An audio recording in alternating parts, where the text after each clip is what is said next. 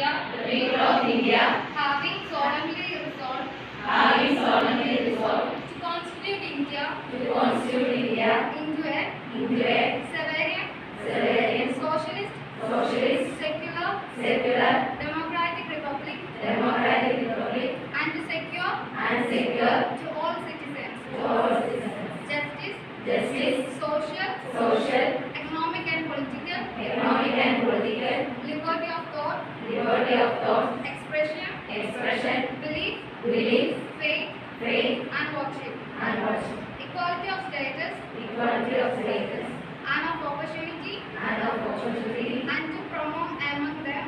And to promote among them.